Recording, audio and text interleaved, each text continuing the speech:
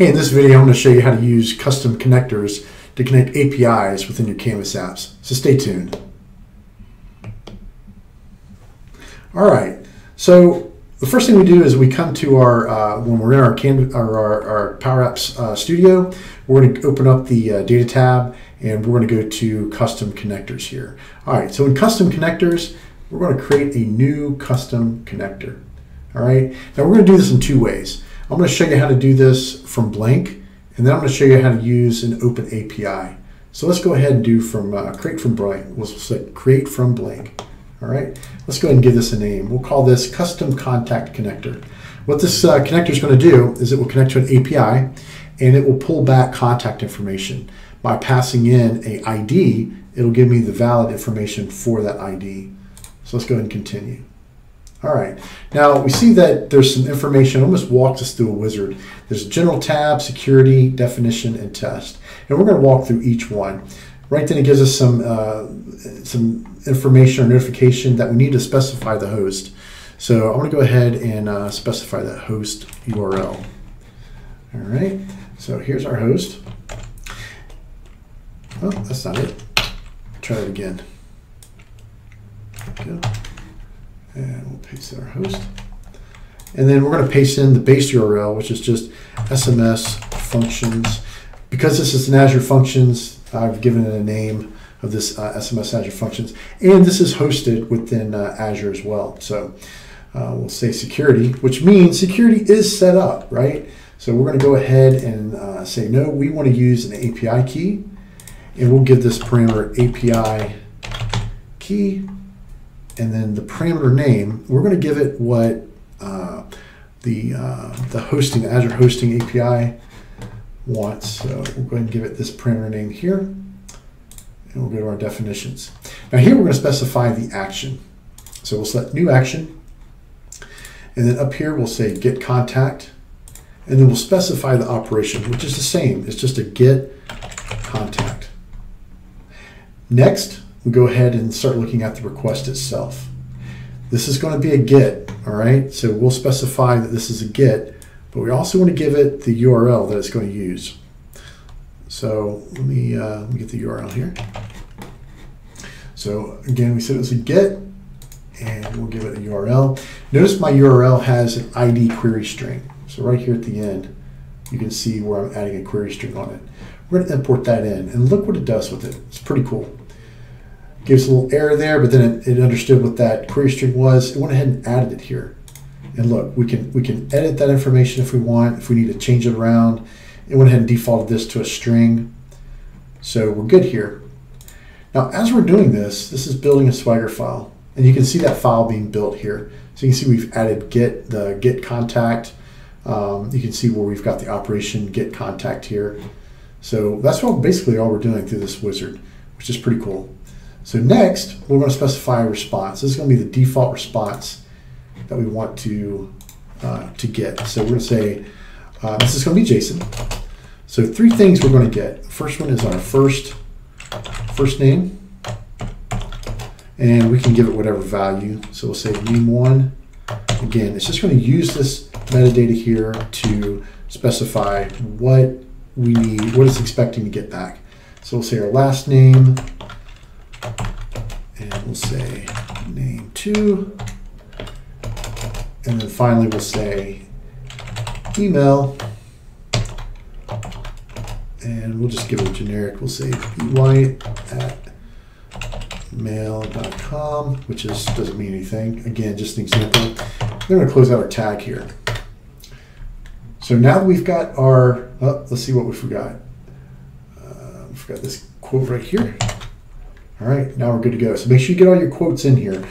The uh, the the the, the, um, the response is going to be uh, in quotes, and also the value, uh, the example of the values needs to be in quotes as well. So let's go ahead and import that. And next, we're going to go to our test. So to to get this to test, it's saying you need to create this connector. So let's go ahead and create it. And as this connects, one thing that we're going to need is the, uh, the key. So I'm going to grab the key, because remember we said this is an API uh, API key. So this is, this is how we need to authenticate with it. So once this is created, it's going to say, all right, well, I need you, you, you can't test it until you create a new connection. So let's go ahead and create a new connection here. And let's give it the key. All right. After it built it out, you'll notice that we've got our connections. We've got our custom contact connector. Let's go back to our custom contact connector section here and let's edit it because we still want to test it out. And we'll go ahead and jump this over to test. Now we can put in a value. So let's say 123. This should give us back a 200. Let's see what happens here. All right, we're good. Status 200. This is great. And this is the response that we're expecting to get back. My first name, last name, and then my email address at Pragmatic Works. All right, now let's build our app. So we'll come over here and we'll click App. And we'll create a, a new app. And this will be our Canvas app. As we provision our Canvas app, it doesn't have, know anything about data yet. All right, so we'll go ahead and make this a tablet layout. And the first thing we want to do is add some data to it. And we'll skip this. So let's go to data. Let's add data. Now this will look at the connectors that we currently have. And you can see that it's showing our custom contact connector. We'll click that. We'll say yes, we want to add it. And then let's bring in a button. So we'll go to our insert ribbon, we'll add a button, we'll click away, and then I'll add three labels. One for my first name, for my last name, and then a third one for my email. Let's just bring these down here. All right. Now for our button, we want the on click of this button to actually make the call and then return back some data. So let's go to our button and on our on select, let's type in a little bit, a little bit of a command here. So we're to say update context. Now what this will do is this will uh, create a, a local variable to our screen and we will call this var contact because this will hold the contact information that we're going to get back. So now we'll say custom and notice that we get some IntelliSense here. We can hit tab and now it's prompting us for the ID. You saw us add that ID in the URL. Let's go ahead and get that information too. And then let's put in a string and let's say one, two, three. And then let's match up some of our, our squiggly brackets, our paren. Do one more squiggly bracket and then it looks like a print as well. And we're getting a little bit, let's put that uh, end quote there. That's what complaining about. And it looks like we're good. Now for the test. I'm going to press my Alt key. Instead of playing this right here, I'm just going to run it locally right here. So I'm to hit my Alt key and I'm going to hit my button and hopefully we get some values here. Well, we didn't set anything, but we did get some values, and I can prove that to you. We'll just go ahead and say var. We're getting our IntelliSense again, and this was our first name. And you see Bayer come in there, and we'll do the same thing for this one. We'll say var contact last name. And then finally, let's grab our email address here. So var contact email. And these were the parameters that we uh, that we wanted back. These were the, the results that we wanted back for our contact. All right, that's great. We just did it from scratch. But what if you do have an open API that you either downloaded or you created? In this case, I created it when I built my Azure function and hosted it uh, within Azure. So we'll go ahead and let's save this. Before we save it, let's go ahead and delete this. So let's we're going to remove this custom contact connector. Now look, the name custom contact connector connector is what we gave it, so it retained everything. We're going to see a little bit of difference when we do this from the open API file. So let's remove it. And of course, we're going to get this because now it doesn't know anything about our custom contact connector since we removed it. Let's go to File, and let's save this. And we're going to call this our custom connector connector app and we'll save it to the cloud.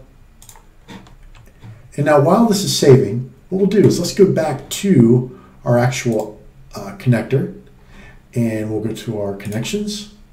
Let's remove it here. So we'll delete it. Yep. And if we had if we had left it in our app, it would not let us delete it. let's move our connector. So we'll say delete. And now we have successfully deleted this. Now let's create one using our Open API. So instead of create from blank, we're going to go ahead and import, import an Open API file. Go ahead and click that. And now when we get to our, our, our name, let's call this Custom Contact Connector 2. The only reason why we're doing this is to prove to you that this is a different connector and to show you a little gotcha that we're going to see. Let's go ahead and import this in. So we'll go ahead and grab our file. This is just a Open API file, Open API uh, JSON file that I created. Uh, this gives us metadata about the API that we want to use. I'll say continue. And notice that some of this information is already filled in. It now knows the host. It now knows the base URL. When we go to security, it also knows the that we're using um, an API key for authentication, the parameter level, the parameter name that it needs to use, sorry, parameter label, the name that it needs to use. Let's go to our definition. It knows the definition. Now, one thing that it did, we're gonna we're gonna need to remove this right here because we want to call get contact for our operation. Let's put the summary in there. And notice that it's got our our, our, our actual URL that's gonna that's gonna make the call. It has a parameter too. It looks identical to what we had before. Let's set it to a string. And again, we can look at that Swagger document, which is just the file we imported instead of building in this case. So if we look at it, there's some information in here. So we've got an enum that was was uh, uh, 890. That's an example of the data that we want to come in. All right. So let's go ahead and finish this up. One of the first gotchas that you're going to come across, uh, if you try to run this, I had some problems doing it with the response 200 that was already added. So if we go back to our Swagger file, you can see that there's a response 200 already added with the example of, uh, of what, what should be brought back. Um, it doesn't like that. So what we're going to do is we're going to go down to um, our response again, and we're going to add a new response. This one's very similar to what we had before, nothing really different. We'll just say um, first, first name, make sure it's in quotes, and then the value, we'll, we'll name one, make sure that's in quotes, do comma, and let's just copy that just for speed things up. And we'll do it name two, and this will be our our last name. And then finally we'll do our email. Don't need that comma there. And this is just going to be email. And then name two. And then we will close out our JSON. Notice it wasn't uh, letting us import it until it was until it was the way it, it, wanted to look. Okay, so now let's go ahead and import that. After doing that, what I'm going to do is I'm going to go back to our Swagger file here, and I'm going to remove out the existing one. So I'm going to go from 200 all the way across to the example JSON that I had. I'm just going to delete that out. I'm going to take out the space as well. All right, we're good. Let's go ahead and hide that again. And now we should only have one, and that's the default that's there. For some reason, it likes that. Now let's go to our test. We want to test this out. And let's put it one more time. You must create the custom connector before testing. Sounds good. Let's create it. And we're going to get a little error here. And I'm going to talk about what's going on. It's good that we're getting this. Uh, it says specified swagger uh, has the following errors. The type of enum value is integer, but it should be a string. So let's let's look at our code, sorry, our uh, JSON file and try to figure out what's going on. For some reason, it does show that uh, our, our ID that we're passing in is a string, but let's just go ahead and give it a tick. For some reason, it didn't add those ticks in there. It's showing us that the JSON doesn't look good. Well, if we add these ticks, match them up, we should be in good shape now. Let's close this out. All right, now let's try creating our connector. And it likes us now. Okay, so as this is creating, it will again ask for our API key, which is what we gave the connection. So that'll pop up here in a second. All right, everything's looking good. All right, let's give it a connection. Let's say new connection. There's our API key for our connection, and then we're good. Our connection's been created. Let's go back to our custom connector, and let's test it. In this case, we're going to hit the edit button, and then to go all the way to the test. We'll select test, our new connections selected, and now we can do one, two, three, and let's hopefully get another 200. And we're in good shape. 200 again, and the value back from our API. We're good. Now let's go back over to our Canvas app. And we'll hit the back arrow, and we've got our, right where we left off, it doesn't know anything about our connector. Let's go ahead and add that connector in. Now this is one little gotcha as well. Remember ours is named Custom Contact Connector 2. So the old one's still showing up. In fact, if I click on it, it'll attempt to add it, but it says, hey, I don't know what you're talking about. So we're gonna go ahead and close this out. We've already saved it. Yep, we'll leave. And then we'll go to our apps. Since we've saved our app, we'll then go to edit. And now that we're editing our app, it will, and this is a fresh, you know, almost restarting the browser here, uh, it will now know about our new connector within our environment. So let's give it a second here, and we'll skip that. Now let's go back to our data. We'll say add data, and we'll go to connectors, and there's our custom contact connector 2. Now this one's going to look a little bit different. Import from SMS functions, which is that uh, open API file, function app. So we'll go ahead and click that and then we'll add it. And you can see that the squiggly still aren't going away. Well, that's okay because it doesn't know anything about this new connector. So let's change our, we'll click on our button here and let's go to our var contact and let's take this code out here. So this will be SMS and you can see that it's already getting the contact. We'll specify that. Now this is something, another gotcha. So gotcha three. Remember our ID for our parameter. Well, the Open API, for some reason, has it set up a little bit different. It doesn't need this. All it needs is just the number. So we'll take out the ID colon and the squiggly, line, uh, uh, squiggly lines around it, and we'll strictly just pass in that ID. So it'll be get, uh, get contact, open print, our ID, close print. Now let's try this again. I'm gonna hit the Alt key and I'm gonna hit the button again. And we should get our results back. Boom.